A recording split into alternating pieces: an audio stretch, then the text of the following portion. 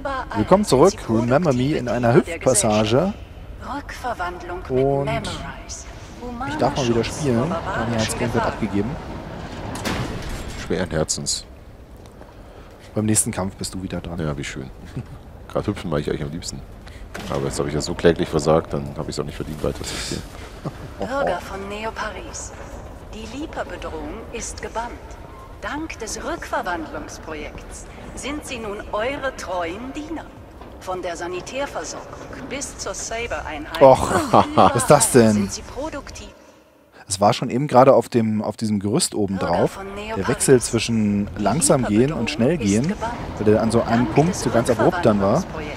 Es ist sind gerade schon echt schwierig, da überhaupt die richtige Balance zu finden. Bis zur Saber-Einheit. Überall sind sie Komisch, was es da manchmal so für kleine. Sachen sind, ne? Ja. Aber auch im Positiven. Und zum Beispiel den kompletten,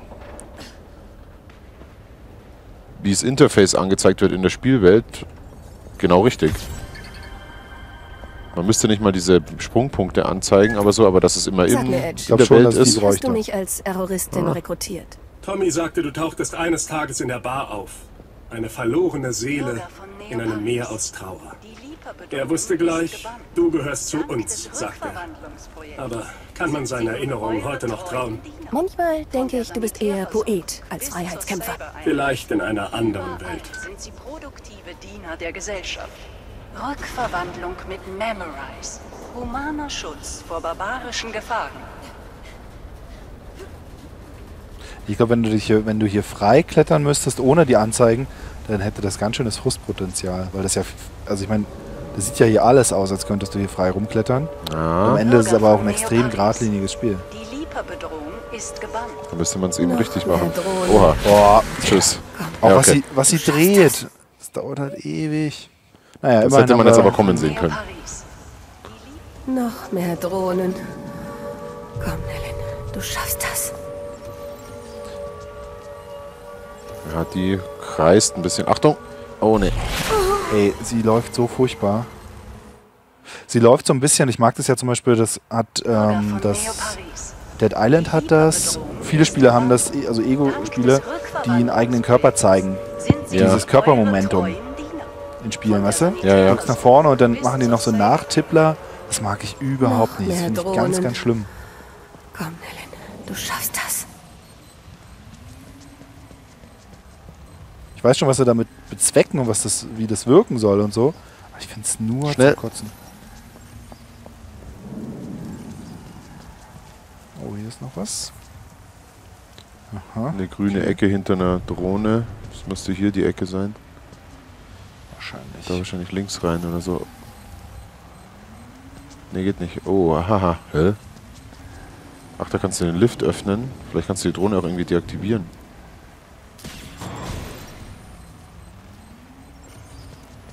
Ah ja. Rein.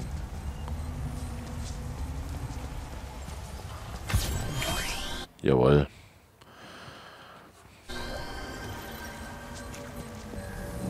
Bleibst du mir weg.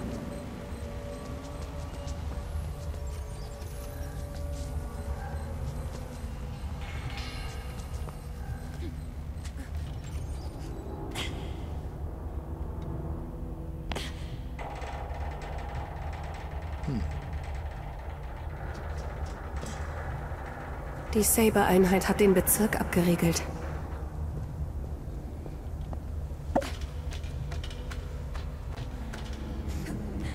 Immer gleich an Saber Rider denken.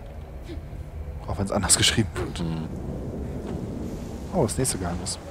Ist aber echt nett, dass sie hier immer die ähm, Erinnerungsbilderchen hinmalen in die Landschaft. Okay. Ja, hier von so einem Gitter. Das Licht.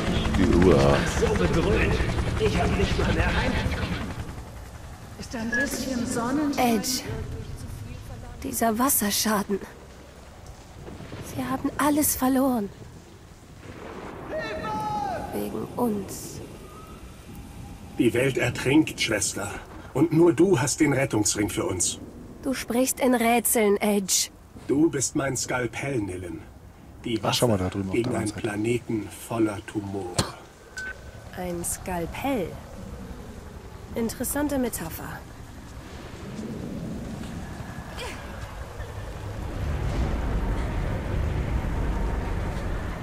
Du kannst oben rüber klettern normalerweise. Ja, macht aber jetzt gerade nichts. Ah, jetzt macht es.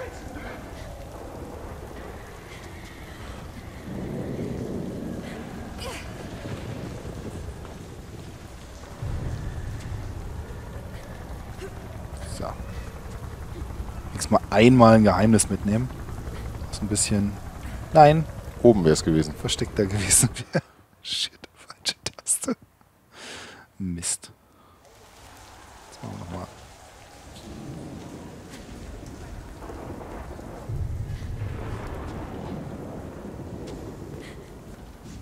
Ja, Ed spricht in Rätseln.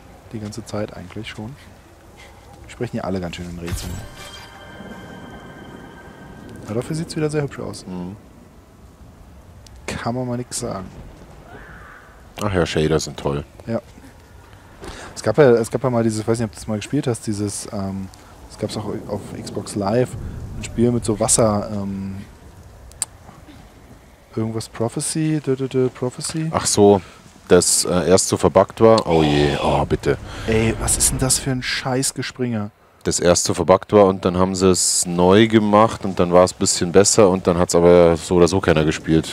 Hydro, ja, es war auch immer noch nicht, es hat auch immer noch nicht richtig, genau, es hat auch immer noch nicht richtig funktioniert. Ich habe es damals auf der Xbox mir geholt, äh, weil ich die Demo ganz cool fand, die Xbox Live Demo. Mhm. Und die PC-Version ist aber, also klar ist sie eine Verbesserung, aber es reicht alles noch nicht.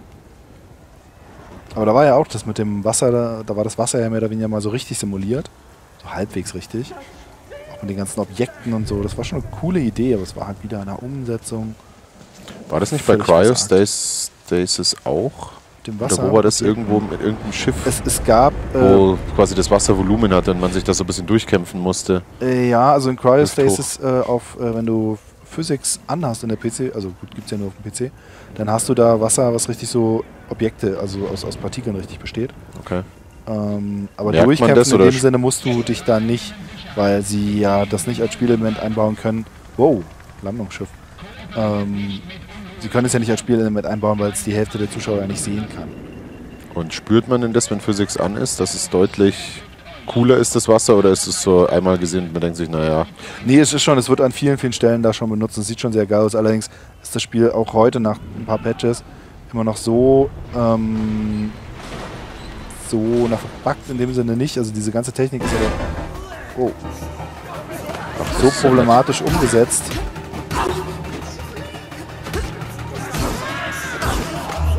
wo kommt die denn jetzt her?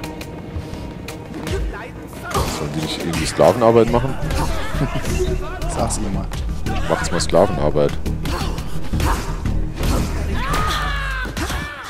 Oh, vielleicht zwei runter.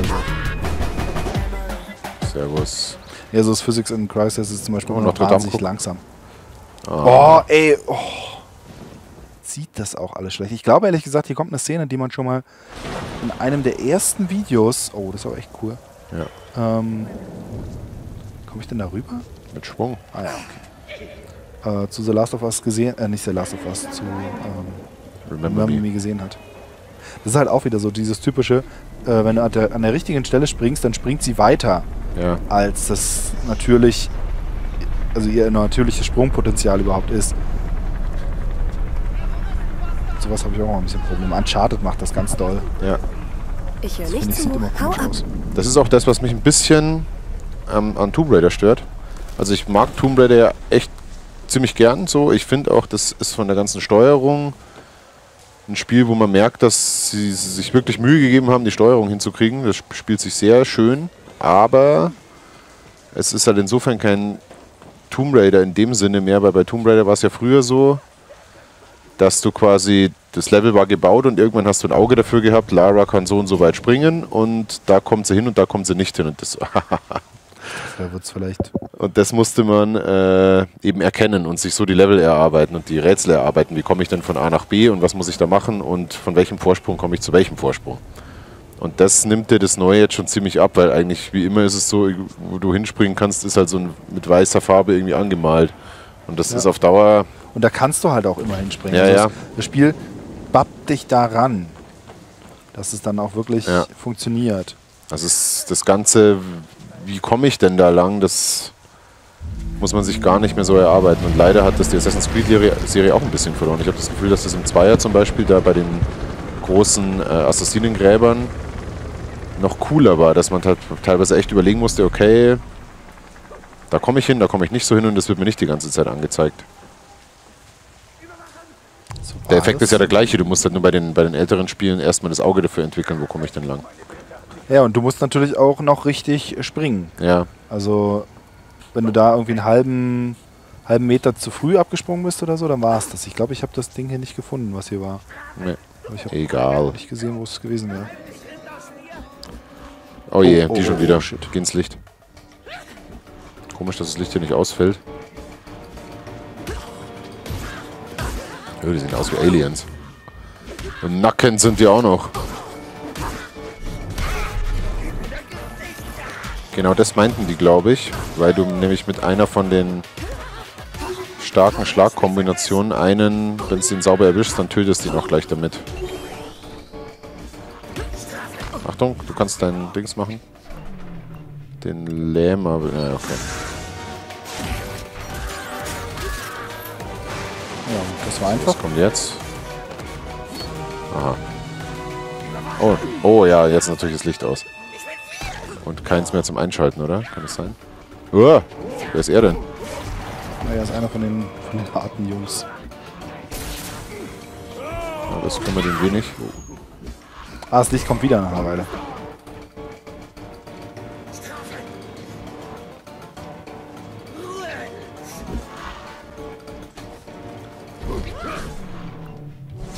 Nee, da geht gerade nichts. Muss man hier warten, bis man das, bis das Licht das, die Jungs wieder zeigt hier oder was? Das ist natürlich ein bisschen blöd. Musst du irgendwie deinen Fokus aufladen. Oh Ja, oder auch nicht.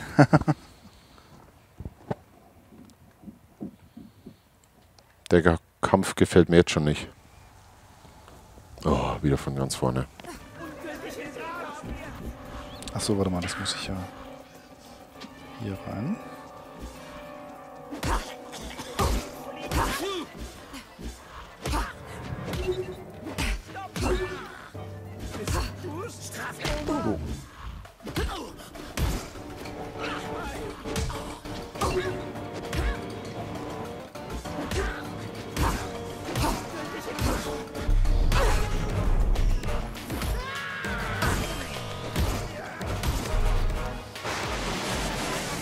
Ja, war wahrscheinlich die beste Idee, den, den Superschlag aufzuheben.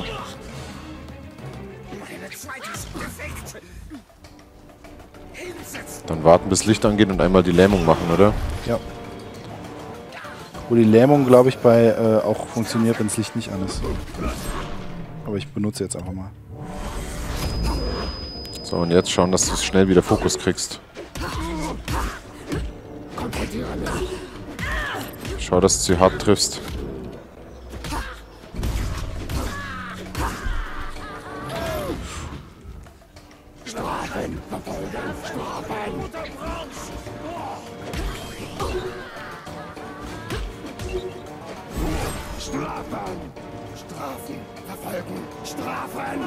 Strafen verfolgen.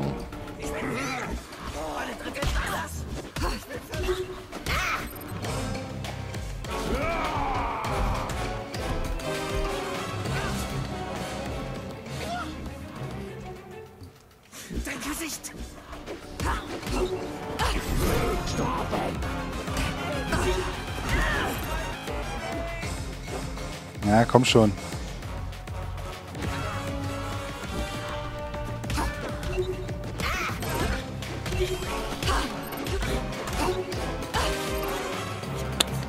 Du bist ziemlich aufgeladen, also Ja, ja, ich. du versuchst den Fokus runterzukriegen, oder? Äh, den Cooldown. Jetzt.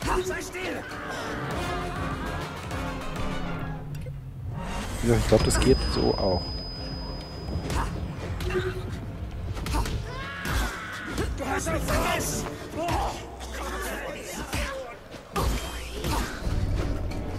Na, was war das gerade? Jetzt hängen die an der Wand.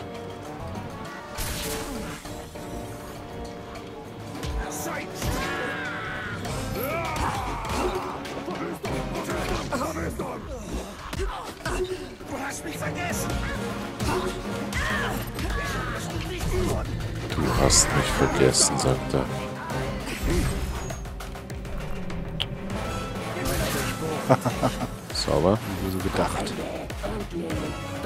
Tiefenliege.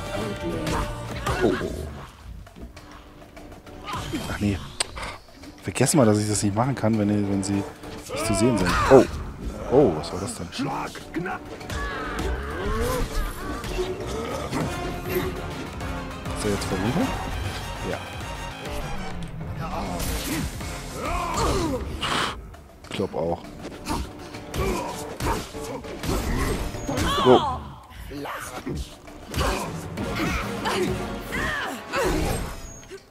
Nee. Von dir hole ich mir Gesundheit.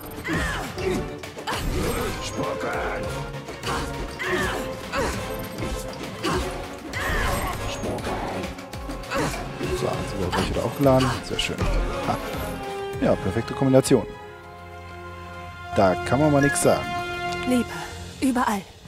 Der Bezirk ist voll davon. Es musste so kommen. Glücklicherweise. Alles schaut auf sie, während du dich in die Memorize-Zentrale schleichst. Schau mal, da hinten ist auch der Eiffelturm. Hübsch. Ich mag dieses Terroristenpack nicht so richtig.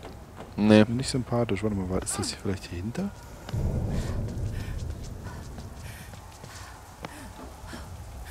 Die haben doch alle Dreck am Stecken in dieser Welt. Ed schaut ein bisschen aus wie dieser Penner aus Prototype 1. Wie hieß der nochmal? Ach, ja, ja, ja. Der war auch nicht gerade der sympathischste. Nee. War auch der Bösewicht in Teil hast 2. du uns das angetan? Vergiss mich. Aber anfangs ja nicht, oder? Ah. Anfangs war, war doch noch dein Helfershelfer oder dein. Ja, ja, ja, ja, Anführer genau. oder so. Genau. Ich habe das ja Das- nie gespielt, aber ich habe auch das Gefühl, dass ich auch ohne das Spiel Ja, das nichts verpasst.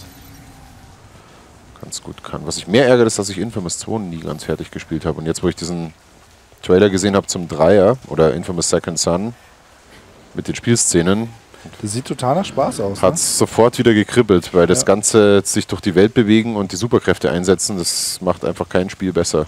So cool. Nur, dass der Hauptdarsteller von Second Son jetzt auch nicht der sympathischste ist, aber wer weiß. Vielleicht wird es ja noch. Täuscht vielleicht. Ja.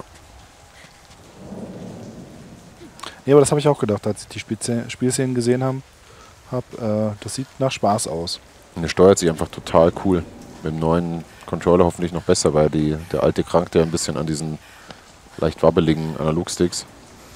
Und der Cole in Infamous 1 und 2, der reagierte sehr, sehr empfindlich auf die Bewegungen. Aber trotzdem super Spiel, alle beide. Vor allem das beste Incentive-System von allem. Da hat man so gern Sachen eingesammelt in der Spielwelt und extra gesucht, weil du immer was dafür bekommen hast. Ah, okay. Ich habe es ja immer noch nicht geschafft, das zu spielen. Ich habe mir das ähm, mit den Vampiren, diesen, diesen Ableger da mal gekauft. Ja. Das spielt sich auch Oh. völlig anders, das Carnival of Blood. Das habe ich irgendwie auch nie wirklich gespielt. Das fand ich immer irgendwie strange. Ach du Scheiße, schau mal hier. Oh, ein Elite Nehme ich Enforcer. selber Schaden. Ah, es sei denn. Nee. auch. Wie? Dann kann man den nur mit Fernwaffen attackieren oder was? Keine Ahnung. Aber du hast jetzt auch Schaden genommen gerade. Ja? Ja. Vielleicht Sonderattacke? Ja. Tatsächlich. Was ist das für ein Mist? Spezialattacke? Mal irgendeine probieren? Ah, welche? Logikbombe?